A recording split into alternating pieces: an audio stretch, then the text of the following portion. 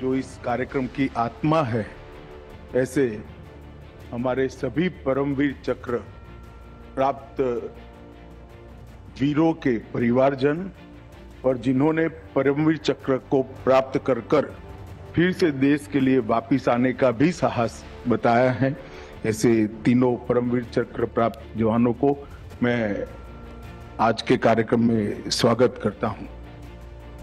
मित्रों, आज का दिन भारतीय सेना के तीनों अंगों के लिए बहुत महत्वपूर्ण दिन है। क्योंकि मैंने आज यहाँ आने से पहले कल घोड़ा ढूँढने का प्रयास किया था। अगर मैं गलत नहीं हूँ तो पूरे विश्व में किसी भी देश अपने लिए लड़ने वाले जवानों के नाम पर द्वीपों का नाम रखकर उनकी वीरता को सम्मानित करने का कदम नहीं उठाया।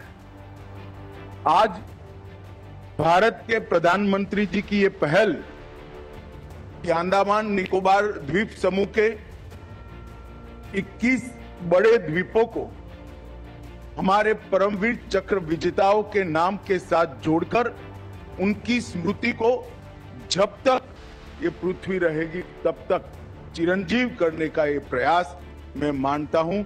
तीनों सेनाओं के लिए बहुत बड़ा उत्साहवर्धन करने वाला है। आज पराक्रम दिन है।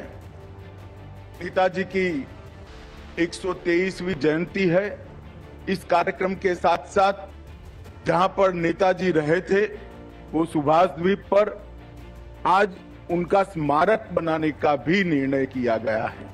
ये दोनों कार्यक्रम, ये दोनों निर्णय देश के प्रधानमंत्री के निर्णय अंडमान निकोबार को फिर से एक बार अंडमान निकोबार द्वीप समूह को स्वतंत्रता की स्मृतियों के साथ, समग्र देश के साथ जोड़ने वाले निर्णय है और मैं इसका बहुत बहुत मन से स्वागत करता हूँ। ये भूमि में ही कुछ ऐसा है कि कई बार कुछ भूमि में इस प्रकार का तत्व होता है कि बार बार वो भूमि सबका ध्यान आकृष्ट करती।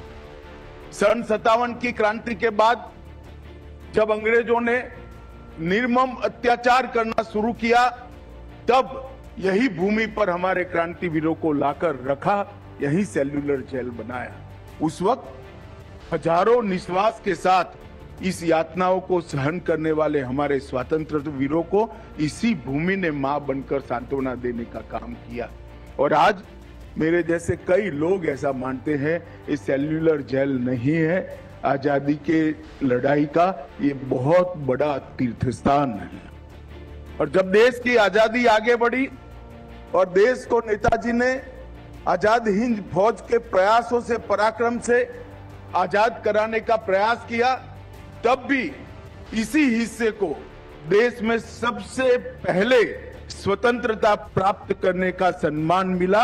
सबसे पहले यही हिस्सा स्वतंत्र हुआ। और और किसी के हाथ से नहीं। नेताजी के हाथ से इसी द्वीप पर अपना तिरंगा पहली बार लहराया गया।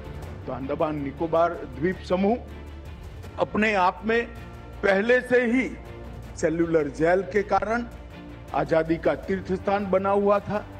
फिर नेताजी ने सबसे पहले आज़ादी प्राप्त कर कर एक पवित्र भूमि पर सबसे पहला तिरंगा फहराया। फिर मोदी जी ने शहीद द्वीप नामकरण किया। फिर मोदी जी ने स्वराज द्वीप का नामकरण किया।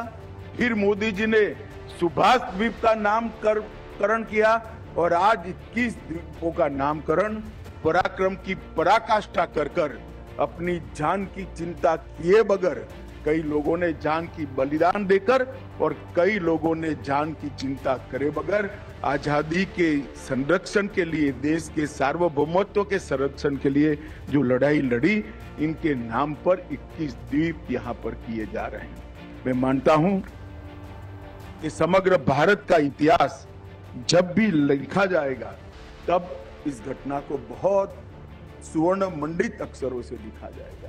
आज इक्कीस द्वीप नहीं द्वीप नहीं बचे। इक्कीस दीप जलाने का काम देश के प्रधानमंत्री जी ने किया है। एक पराक्रम बताने वाले वीरों को उनके पराक्रम को नमन करने के लिए ये द्वीपों को दीप में परिवर्तित करने का काम किया है। मित्रों, आज सुभाष जी का जन्मदिन भी है, जयंती भी है। नेताजी की एक सौ तेईसवीं जयंती के दिन पर आज ये नामकरण हो रहा है। उसी दिन पर सुभाष स्मारक की भी घोषणा हो रही है। इससे अच्छा दिन हमें मिल नहीं सकता, क्योंकि देश की आज़ादी की लड़ाई में सुभाष बाबू ध्रुव तारे की तरह हमेशा चमकते रहे। उनका पंद्रह हज़ार किलोमीटर का लॉन्ग मार्च, आज भी वो रूट देखते हैं, वो रूट पढ़ते हैं। रूट के तापमान और उस वक्त के मौसम का जायजा लेते हैं तो कम कमी आ जाती है। कितना साहस होगा वो व्यक्ति में जो कलकत्ते से लेकर बर्लिन तक बाय मोटर एक गाड़ी से minus forty five degree temperature से गुजरते हुए देश को आज़ाद कराने के लिए पहुँचा। परंतु दुर्भाग्य की बात है, सुभाष बाबू को भुलाने का बहुत प्रयास हुआ। मगर कहते हैं ना जो वीर होते हैं, वो अपनी स्मृति के लिए किसी के मोहताज नहीं होते हैं।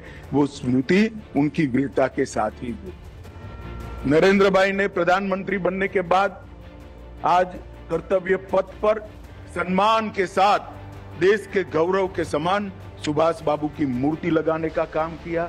आज के दिन को पराक्रम दिन घोषित करने का काम किया और आज ही के दिन ये द्वीप सुभाष द्वीप को एक सुभाष बाबू के स्मारक के रूप में घोषित कर कर, उसको विकसित कर कर जो जो लोग यहाँ आएँगे, वो सब सुभाष बाबू को पीढ़ियों तक नतमस्तक होकर श्रद्धांजलि दे पाए। इस प्रकार की व्यवस्था करने का काम किया है।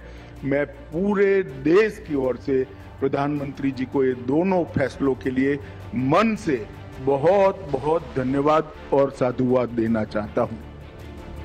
मित्रों, जब रॉस आइलैंड का नाम सुभाष बोस द्वीप किया गया, नील आइलैंड का नाम शहीद द्वीप और हेवलोक आइलैंड का नाम स्वराज द्वीप किया गया ही देश में अंडमान निकोबार के लिए एक चर्चा चली। इसी के साथ सेल्यूलर जेल में, यहाँ के क्रांतिकारियों की स्मृति में एक अमर ज्योति जिसको बीच में रोक लिया गया था, नरेंद्र मोदी सरकार ने ही अमर ज्योति को फिर से प्रज्वलित कर कर युगो युगो तक उनको श्रद्धांजलि देने का काम किया। आज मेजर सोमनाथ शर्मा से लेकर सूबेदार मेजर योगेंद्र सिंह यादव तक सभी पराक्रमी हमारे सेना नायकों को एक हमेशा के लिए स्मृति में संजोने का काम मोदी जी ने किया है। मुझे विश्वास है कि आने वाली कई पीढ़ियाँ इससे प्रेरणा लेगी, देशभक्ति के, पराक्रम के और शौर्य के संस्कार से सिंचित होगी।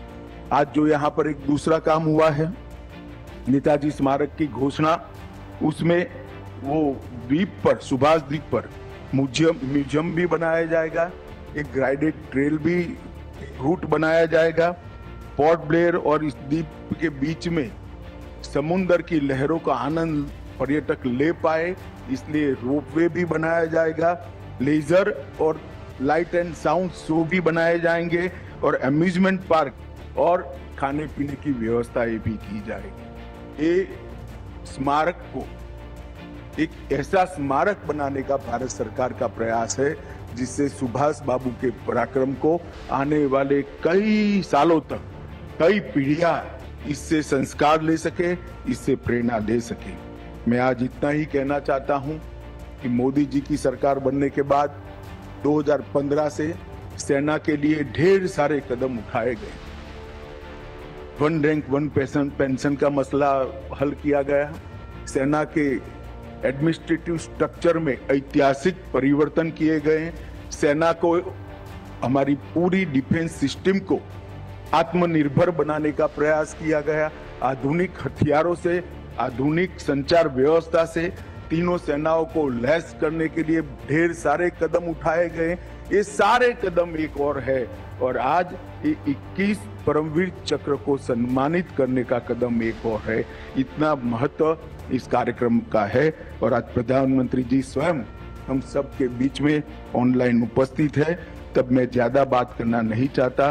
मैं इतना ही कहता हूँ कि ये दोनों घटना जो आज यहाँ पर आकार ले रही है, शुरू हो रही है, वो दोनों घटनाओं से युगो युगों तक भारत की युवा पीढ़ी को देशभक्ति, शौर्य, पराक्रम का संदेश भी मिलेगा और संस्कार भी मिलेंगे। मैं फिर से गृह मंत्रालय की ओर से, समग्र देश की ओर से प्रधानमंत्री जी का धन्यवाद कर कर मेरी बात को समाप्त करता हूँ। वंदे मातरम।